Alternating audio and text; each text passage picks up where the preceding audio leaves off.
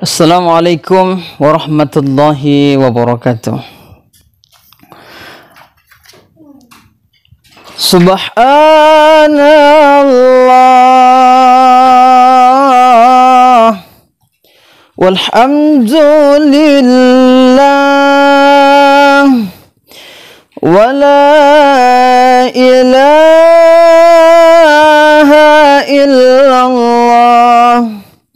الله أكبر سبحان الله والحمد لله ولا إله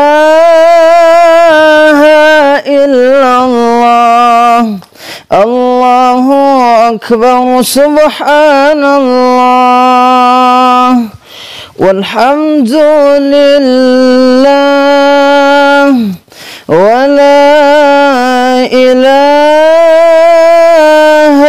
illallah Allahu akbar subhanallah walhamdulillah wa la ilaha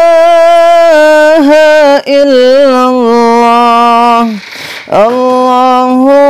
akbar Alhamdulillahilladzi هدانا لهذا وما كنا لنهتدي لولا أن هدانا الله. أشهد أن لا إله إلا الله وحده لا شريك له وأشهد أن محمدا عبده ورسوله الذي لا نبي بعده. قال الله تعالى في كتابه الكريم أعوذ بالله السميع العليم من الشيطان الرجيم ما جعل الله لرجل من قلبين في جوفه.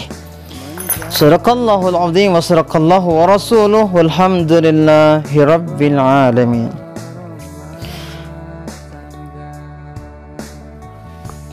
Milenial Indonesia yang dimuliakan Allah Subhanahu wa taala Bapak dan Ibu para pecinta ilmu yang insya Allah siapa pun kita yang mendengar narasi ini mudah-mudahan kita mendapatkan ridha dan ampunan dari Allah Subhanahu wa taala.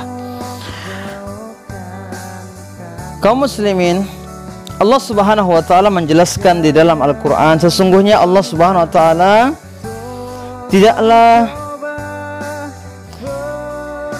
memberikan di dalam rongga hati kita itu dua tempat yakni tidak akan pernah bersatu yang namanya kebencian dan juga kasih sayang. Tidak akan pernah bersatu yang namanya kebaikan dan keburukan. Oleh sebab itulah hamba-hamba Allah seorang yang memiliki kebencian di dalam hati tanpa disebabkan kezaliman, tanpa disebabkan maksiat, maka sungguh hati itu telah menjadi hati yang buruk. Tetapi benci yang dibolehkan itu adalah benci terhadap kezaliman, kemaksiatan kepada hal-hal yang memang mengundang murka Allah Subhanahu wa taala. Nah, sahabat milenial rahmati Allah Subhanahu wa taala. Ada kalanya manusia itu cenderung kepada sifat-sifat yang buruk. Contohnya, manusia itu suka menanam kebencian kepada manusia lainnya jika hal itu dibangun dikarenakan maksiat kepada Allah, dikarenakan perilaku kezaliman, maka silahkan. Tapi yang dibenci adalah sifat dan karakternya. Tetapi jika kebencian itu dibangun tanpa dasar maksiat kepada Allah, tanpa kezaliman, maka itu adalah penyakit yang akut yang mesti disembuhkan. Sahabat sekalian ketahuilah, seorang yang berilmu itu bukanlah mereka yang banyak menghafal riwayat, ya.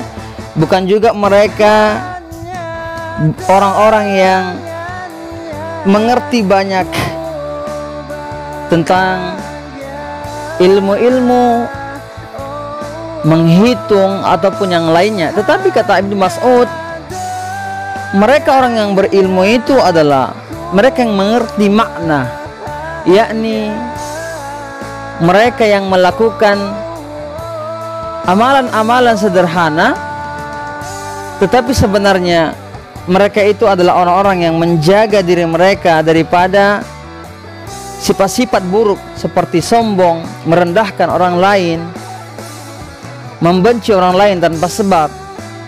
Karena sesungguhnya betapa banyak orang-orang yang tampak mereka paham akan fikih, tetapi karakter mereka buruk, akhlak mereka tidak terjaga. Maka sesungguhnya mereka tidak mengerti akhirat. Tetapi orang-orang yang mengerti akhirat adalah mereka orang-orang yang memperhatikan sebagaimana firman Allah, "Innama yakhsyallaha min ibadihil ulama." Allah mengisyaratkan bahwa ilmu itu adalah mereka yang terus belajar mengenal Allah. Mereka sungkan, mereka malu kepada Allah dan ilmu yang mereka miliki mencegah mereka dari sesuatu yang mengundang murka Allah Subhanahu wa taala.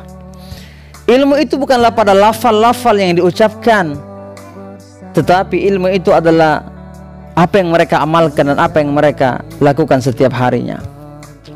Berapa banyak orang-orang yang belajar ilmu tetapi buruk akhlaknya. Maka sebenarnya mereka semakin jauh dari Allah Subhanahu wa taala. Sahabat sekalian, sahabat milenial rahmati Allah Subhanahu wa taala. Ketahuilah, memuliakan guru, ulama adalah sunnah jalan mereka orang-orang terdahulu. Al-Imam Al-Ghazali dalam kitabnya Al-Ihya menuliskan pada satu hari Asy-Sya'bi berkata, Zaid bin Sabit menyolati jenazah Lalu beliau membawa keledai agar ditunggangi oleh Zaid bin Sabit ya. Maka ketika Ibnu Abbas melihat itu, langsung beliau memegang kendali keledai itu. Lalu Zaid berkata, "Biarkanlah wahai putra paman Rasulullah sallallahu alaihi wasallam." Tapi lihat Ibnu Abbas berkata, "Demikianlah kami diperintah untuk berbuat kepada para ulama dan para pembesar. Lalu Zaid bin Sabit meraih tangan Ibnu Abbas lalu menciumnya dan dia berkata, demikianlah kami diperintahkan untuk berbuat kepada keluarga Rasulullah sallallahu alaihi wasallam. Sahabat milenial rahmat Allah Subhanahu wa taala, lihatlah bagaimana karakter dan juga uh, akhlak mereka ya. Orang-orang terdahulu mereka sangat memuliakan ulama mereka juga memuliakan zuriat Rasulullah sallallahu alaihi wasallam. Maka bagaimana dengan kita yang hidup di abad modern ini? Jangan sampai kita kehilangan akhlak kepada para guru-guru kita, kepada para ulama kita, apalagi sampai membenci mereka. Hadanallahu wa iyyakum ajmain. Subhanakallahumma wa bihamdika asyhadu an la ilaha illa anta astaghfiruka wa atubu ilaik. Assalamualaikum warahmatullahi